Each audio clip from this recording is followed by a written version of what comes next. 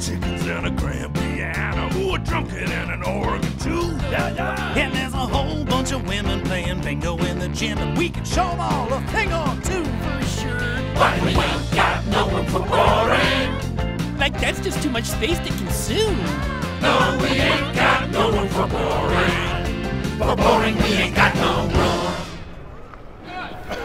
room.